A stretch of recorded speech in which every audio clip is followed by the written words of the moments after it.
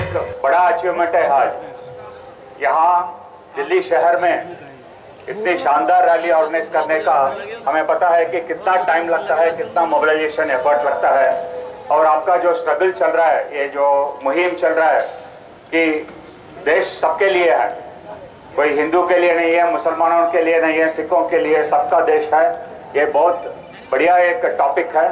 और देश भर इसके ऊपर ही चर्चा चल रहा है। और मेरे ख्याल में ये कैंपेन अभी लेना और देश भर ये कैंपेन चलाना और इतने तादाद में इतने खूबसूरत रैली यहाँ ऑर्गेनाइज करना बिल्कुल बहुत बड़ी बात है और लोकरा संगठन आपके साथ खड़ी हैं। ये जो आज चल रहा है, इसके ऊपर डॉक्टर इलिया जी ने बहुत डिटेल बात किया और अन्य वक्ताओं में भी बात करेंगे। तो इसलिए डिटेल में नहीं जाना चाहता हूँ। लेकिन ये जो अन्याय चल रहा है अब आज, और सब मांग रहे हैं कि ये अन्याय का कब खत्म होगा? न्याय दे दो। न्याय के लिए मांग रहे हैं हम, और गुनहगारों को सजा दिलवाने के लिए हम मांग रहे हैं। लेकिन एक सवाल मेरे मन में उठता है कि न्याय हम किससे मांगेंगे? किसके पास जाएँगे न्याय मांगने के लिए? ये सब जो चोर बैठे हैं और पूरे कंप्लीट जो इंडियन स्टेट है इनके एजेंसीज है, सब इसके साथ मिलजुल के ये काम करते हैं। लेकिन मुट्ठी भर लोग ये सब काम करते हैं, इधर उधर। आप देख सकते हैं कि ये रेप करना, ये मुसलमानों के ऊपर कत्लेआम करना, अन्य दलितों के ऊपर शोषण करना, फिर जुर्म करना, महिलाओं के ऊपर रेप करना, ये सब मुट्ठी भर के लोग करते हैं। और जब अगर स्टेट को चाहिए तो इनको कभी लाइक एक दिन में, एक रात में अंदर डाल सकते हैं। लेकिन सब गुनहगार अभी फ्री रोम हो रहे हैं। अभी ये जो मक्का, मदीना का ये रिज़ल्ट आया, आपने, आप बिल्कुल देख सकते हैं कि सालों एक केस चलाया और इतने सारे विटनेस लेके आए थे, इतने सारे डॉक्यूमेंट्स लेके आए थे और अल्टीमेटली क्या हुआ? ये सब जो गुनहगार है, वो सब अभी फ्री रोम हो रहे हैं। तो ये सोचना चाहिए कि न्याय जब मांग रहे हैं हम, ये न्याय इतना आसान से नहीं मिलेगा। जब रैली करते हैं दिल्ली के शहर में, उसका थोड़ा एफर्ट इफ़ेक्ट होता है देश भर और ये रैली एक नहीं, दो नहीं, करते रहना चाहिए रैली। और सड़क में उतरना है, सबको ये मांग करना है कि ये हमारा हक है। देश में हम दो, ये देशवासी, हमारा हक है। कि हमारी रक्षा के लिए, हमारी सुरक्षा के लिए, हमारे ये ये प्रॉस्परिटी के लिए, ये हमारा ग्रो ग्रोथ के लिए डेवलपमेंट के लिए ये गवर्नमेंट काम करना चाहिए। और जो ये जिस गवर्नमेंट जिस राज ने ये काम नहीं करता है, जो निकम्मी एक गवर्नमेंट है, उसको हटाने का पूरे, पूरा हमारा राइट है, हमारा अधिकार है ये करने के लिए। तो इसी के लिए हम अभी काम कर रहे हैं। और हम और भी आगे काम करेंगे। और इसमें ये देखना चाहिए कि सब मिलजुल के काम करते हैं। बीजेपी जो है गवर्नमेंट में, ये अभी सबसे ऊपर सबसे ज़्यादा फाशिस्ट तरीके से वो काम चल रहा है और सबके खिलाफ ये शोषण हो रहा है।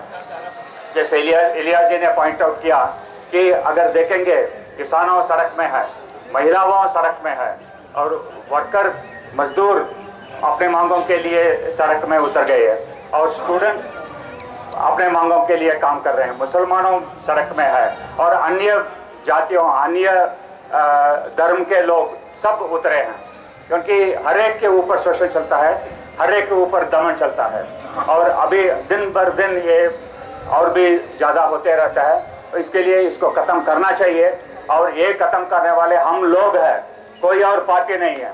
हम लोग हमारे जैसे छोटे पार्टियाँ हमारे जैसे ऑर्गेनाइजेशन हमारे ह्यूमन राइट्स ऑर्गेनाइजेशन हम सब मिलके इसको ख़त्म करना चाहिए। और ये जो बड़े कॉरपोरेट पार्टियाँ जो कॉरपोरेट बिजनेसमैन का पार्टियाँ हैं, इसको पूरा हम विरोध करना चाहिए।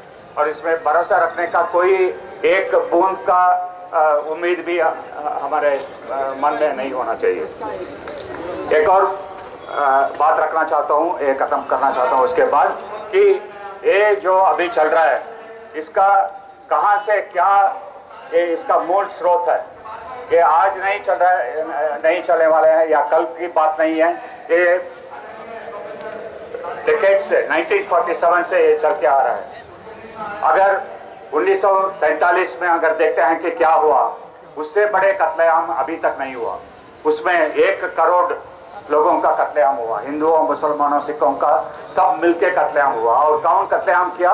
कत्लेआम करने वाले लोग, ये जो ब्रिटिश का जो चलाते थे कॉलोनियल अपना गवर्नमेंट जब हिंदुस्तान से हटके वो बाहर गए, वो सोचा कि अगर ये देश हिंदुस्तान, पाकिस्तान, बांग्लादेश, ये सब मिलके, ये सब यूनाइटेड रहें तो फिर हमारा एक यहाँ दखल दखल अंदाजी करने के लिए कोई फुटहोल्ड नहीं मिलेगा।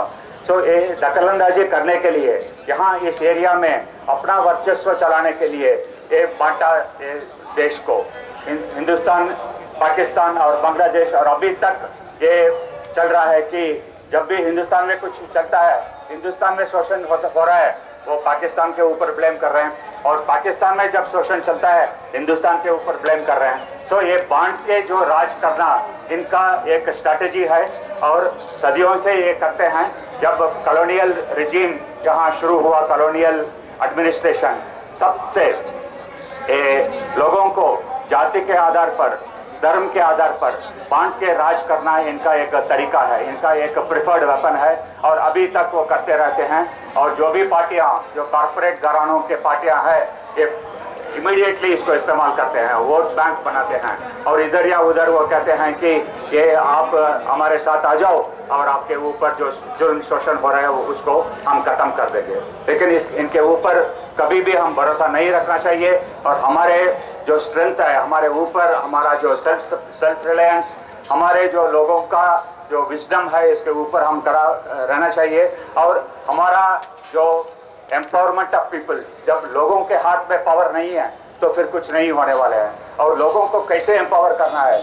लोगों को देश चलाने के लिए कैसे सिखाना है? कैसे उनको मोबिलाइज करना चाहिए? ये इस कार्य में इस एक महत्वपूर्ण स्ट्रैटेजी में हम सब अभी उतरे हैं और ये स्ट्रगल को और भी जारी रखना चाहिए। और बिल्कुल आपका जो मुहिम है, फिर से मैं कहता हूँ कि लोकरा संगठन की तरफ़ से आपको पूरी सहमत मिलेगा और आप, हम सब आपके साथ हैं। और ये देश, हमारा देश है, हम हम ही बचाएँगे।